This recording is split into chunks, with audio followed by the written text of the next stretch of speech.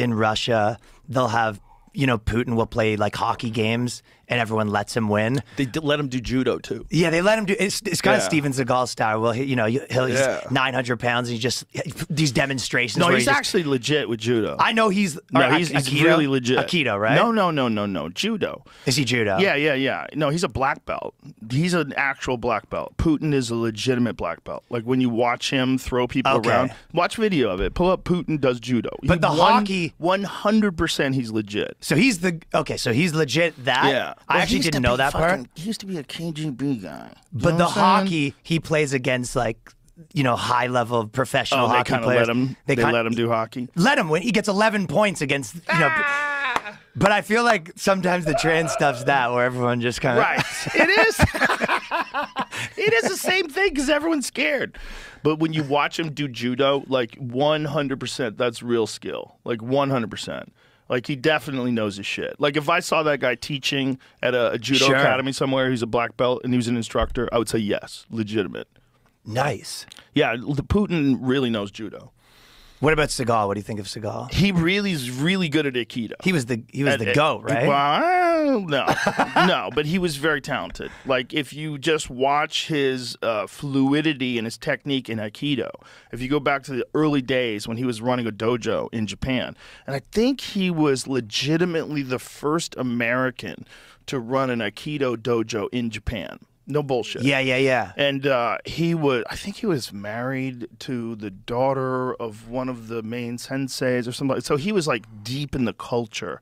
And re- he was really good at Aikido. But Aikido is a martial art that was developed to, to disarm people with swords. So when someone's coming at you with a sword, you don't have a sword, you're oh. disarming them. The Oh. Okay. idea is to try to use their momentum against them. Yeah, so yeah. It's, it's kind of a reactive martial art and it's like it's using your momentum and then using leverage and using technique but it's not a, it's not like offensive and what he did in the movies is he made it offensive like if you go to like uh, Yeah. above the law above the law is a fucking great movie Well, he turned it into this a is tool Seagal, to get tons of this pussy. is him when he's older okay this is like this is uh do rag Seagal Do-rag like, Seagal's the best do-rag Seagal. Seagal is not the best Seagal you want to go to black and white film Seagal because you got to realize like above the law go to uh, old Steven Seagal footage.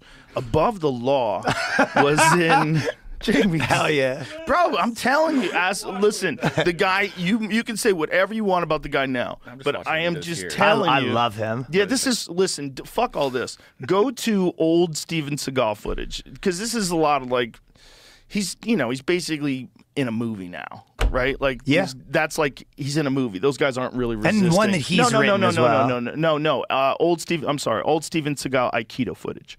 There's like legitimate footage of him in the dojo. Just doing work. Yeah, like when you see like his uh his ability to throw people. There you go. He had the big feud Well, the- with Jean go to the Claude Van Damme. One. The top one's legit. I've seen this top one.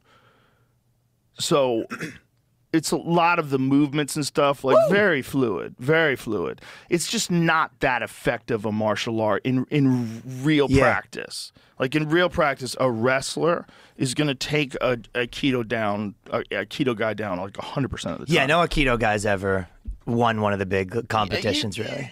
I mean, you could have a guy who starts out in Aikido for some strange reason and is just extraordinary physically talented. Like if Jon Jones got in Aikido, Sure. he still would fuck people up in the UFC. There's certain people that are extraordinarily talented. They just they're training at the wrong place. Or- That, that yeah. does happen. Perhaps a trans Aikido fighter would do it. but Aikido is just not the it's not the way to go.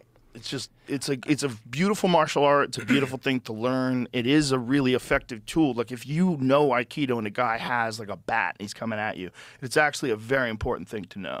Like some of the principles involved in uh, in avoiding like these strikes, like you could apply those Yeah. in, in a real situation.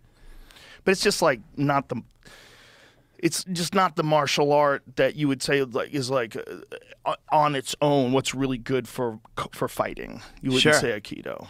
I feel like the reason why even guys like him, aside from that, were so great was just like that they believed it a little. You know, when you see kind of, you know, Jason, like Jason Momoa right now as an action star, he doesn't think he's that guy. You know, Right, whereas right. like you know, kind of even Jean Claude Van Damme, like it was it was getting a little wishy washy. What was the movie? What was them? You know? Yes, yes. Well, I think the the audience capture like that, and, it, and especially then, you're talking about like the 80s and the 90s, where your Sure. your connection to the audience is like so ethereal. It's so like Yeah. it's mystical. Like where, who? Are, why do they like me? You're not where seeing are this these guy people? every day. You don't. You don't. You don't have any tweets about you. You're not getting any comments on YouTube. You're just like trying to figure out if people like- like you, and you're just doing karate movies. Yeah. It is very it is very easy to be like a god back in those days. It's kind of like more how Oh, yeah. music is, where it's. I always say that even if you look at um, you know kind of Look at activist stuff. He's doing splits on the top of like Oh, a that's building. Jean Claude's. He's been his split Bro. move is the move. Bro, he's doing splits on the top of a fucking giant pillar overlooking the city. I'd be scared to sit there. Ninety percent of Jean Claude Van Damme was his splits. First of all, he's a beautiful man. He's the best. He's a beautiful man. I mean, his body is flawless. So he's over there, flawless body, doing splits. More than splits too. Yeah. It's like Look at him. He could do splits on. He could do splits on two chairs, where he puts one heel on each chair and he like suspends his body. That's nuts. Oh, that's, my God. That's really hard to do, man. so Remember much that splits. video? I think it was CGI. It had to be CGI, where they did it in between the two trucks. Yeah, there's a picture of it. That's CGI. Pa- uh, both. it has to be They did do some of it, but yeah, they didn't. I think he really can do that with his legs still. He really can do I a don't think they split. were moving though. Yeah, But they're, they're not going to do that in between trucks, and he goes under the truck, and you lose Jean Claude Van Damme in a fucking horrific semi accident Avi. where his body gets turned into meat. I think he's doing uh didn't he's doing some wild stuff right now. He's Is got he? Oh, on the internet? Yeah, I think well he had that uh he he did like a web series and then he had like some porn star girlfriend. He was posting fit photos of him just like in a hot tub with you just like rocking out. Damn. Yeah, yeah, was kind of cool.